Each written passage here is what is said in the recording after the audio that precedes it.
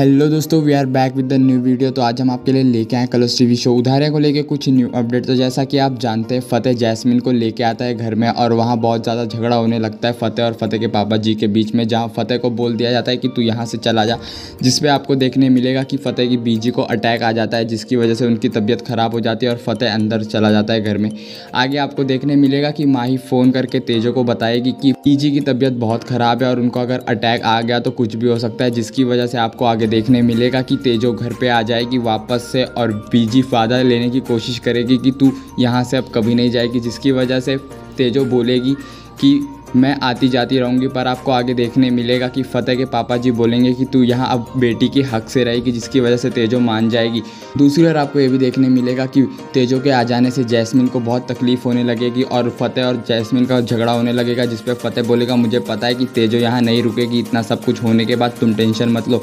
आगे आपको देखने मिलेगा कि जैस्मिन फ़तेह को बोलेगी कि तेजो को तुम डिवोर्स दोगे और उसके हाथ से डिवोर्स पेपर तेजो के लिए भिजवा देगी। तो आज के लिए इतना ही तो मिलते हैं नई वीडियो के साथ, तब तक के लिए बाय बाय